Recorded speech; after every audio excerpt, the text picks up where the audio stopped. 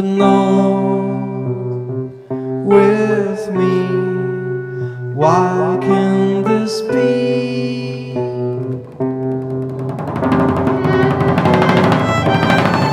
You and I, like stars in